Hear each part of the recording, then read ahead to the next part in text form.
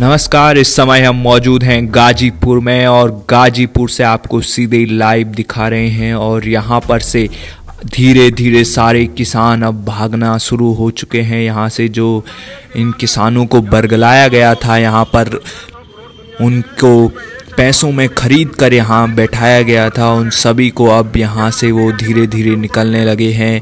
राकेश टिकैत अपनी राजनीति चमकाने के लिए अब राजस्थान, यूपी में किसान पंचायत कर रहा है। कांग्रेस और केजरीवाल के इशारों पर और खालिस्तानी गैंग के इशारों पर यहाँ पर वो राकेश टिकैत, योगेंद्र यादव और राहुल गांधी अब किसानों को भड़काने के लिए राजस्थान पहुँचने वाले हैं और यहाँ पर आप देख सकते हैं बहुत कम किसान बचे हुए हैं और जो कुछ किसान हैं वो कुछ दिनों बाद यहाँ से लौट जाएँगे।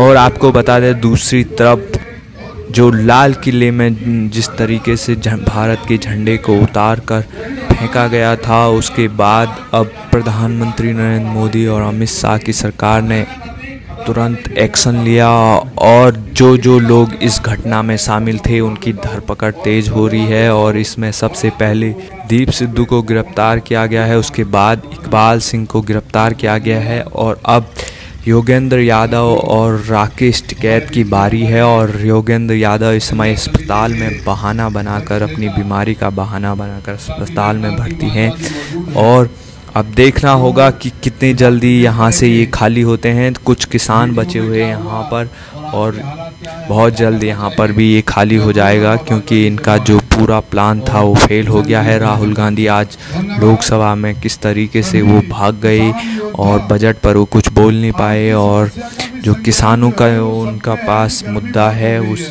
जो देश के किसानों को भड़का कर वो कोशिश कर रहे हैं किसी तरीके से 2019 में वो प्रधानमंत्री मोदी के खिलाफ चुनाव जीत पाए, कोई और मुद्दा उनके पास है नहीं, बजट में वो बोल नहीं पाए। तो आप देख सकते हैं, यहाँ पर अब धीरे धीरे सारे किसान यहाँ से जाने वाले हैं। पहले से जो भीड़ थी, उससे अब बहुत कम यहाँ पर किसान रहे हैं और ये वही हैं जिनको अभी यहाँ पर दाना पानी मिल रहा है। कुछ दिनों बाद ये भी यहाँ से निकल जाएँगे। कि हम यहाँ उपस्थित हैं और तब तक उपस्थित हैं जब तक ये सरकार हमारी जो मांगे हैं, हमारे जो अधिकार हैं, उनको वापस नहीं दे देती। और ये काले कानून वापस नहीं लेती एमएसपी की गारंटी नहीं बनती। मैं इन कानून के संबंध में और किसानों की समस्याओं के संबंध में मेरे से पूर्व वक्ताओं ने बहुत विस्तार से बताया। मैं तो सिर्फ़ इतना बताना चाह रहा हूँ कि कुछ प्रोग्राम जो संयुक्त मोर्चा के हैं, वो आपके संज्ञान में रहने चाहिए। और उससे पहले कुछ समस्याएँ यहाँ पर जो भी हैं, चाहे वो जो नोटिस जारी हो रहे हैं, पुलिस द्वारा, जितने भी नोटिस किसी को भी जा रहे हैं, सारे किसानों को मैं कहना चाहता हूँ कि कहीं से कहीं तक घबराने की ज़रूरत नहीं है। पूरा का पूरा किसान मोर्चा आपके साथ खड़ा है आपकी हर समस्या को लड़ने के लिए। जिसके पास भी कोई नोटिस आ रहा है वो नोटिस लेकर के यहाँ पर आए और यहाँ पर वकीलों का पैनल तैयार किया गया है किसान मोर्चा द्वारा। वो आपकी कानूनी लड़ाई लड़ेगा और हम सब एकजुटता से सरकार के षड्यंत्र का जवाब देंगे। इसकी कोई चिंता करने की ज़रूरत नहीं है।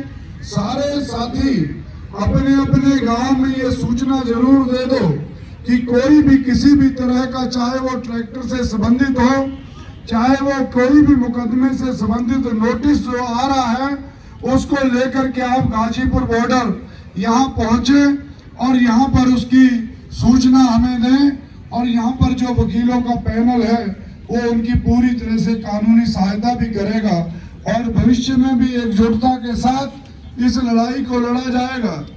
और एक बात यह भी कहना चाहता हूँ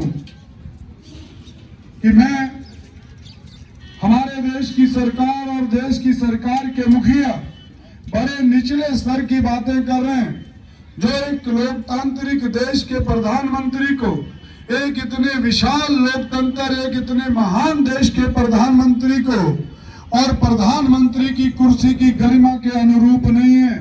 चाहे वो आंदोलनकारियों का उपहास उड़ाना हो, चाहे वो किसी भी तरीके से ये कहना हो, इतने दिनों बाद कि ये मालूम नहीं है कि कानून में काला क्या है।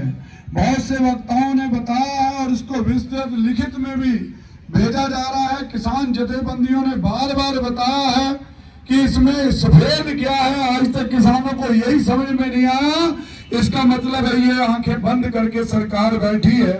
उनको काला नज़र नहीं आ रहा। तो ये हम सबकी चिंता का विषय है। अभी एक बापूजी अभी मुझे को दिखा रहे थे सोशल मीडिया पे मैं ये किसी पे कमेंट नहीं करना चाहता। हम किसी को सुधारें, वो अलग बात है। लेकिन हम सुधरे, हम समझें कि वास्तविक समस्या क्या है।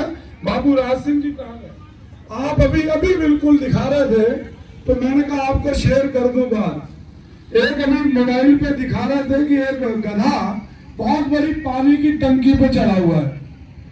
तो ये मुझे दिखा रहे थे, उस पे कि अब चिंता इस बात की नहीं है कि यह टंकी से उतरेगा कैसे?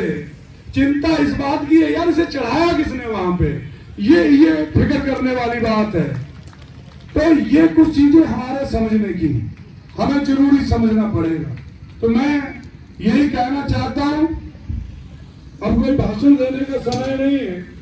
एक तो आपसे कहना चाहता हूँ कि आप एक तय कर लीजिए, गाजीपुर बॉर्डर पर जो भी व्यक्ति है, वो चाहे इस पे बैठे चाहे कहीं भी जाके में बैठे।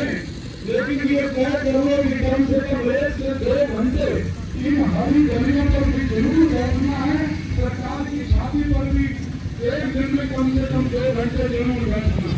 जब आप ऊपर बैठे होते हैं, जब नीचे जगह खाली है तो नीचे बैठ जाया करो। क्योंकि हमारी मीडिया से भी बड़ी मोहब्बत है किसानों की कि वो सब फ़ोटो खींचते हैं जब यहाँ पर कोई नहीं बैठा होता तो ये ये आपके लिए भी ध्यान रखना है आपकी ज़िम्मेदारी बनती है वहाँ पर जो गर्मियाँ आ रही हैं उन गर्मियों में क्या क्या समस्याएँ आएँगी तो उसके लिए पूरी व्यवस्था जो किसान हैं।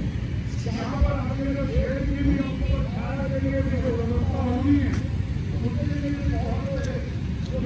Let's go this thing.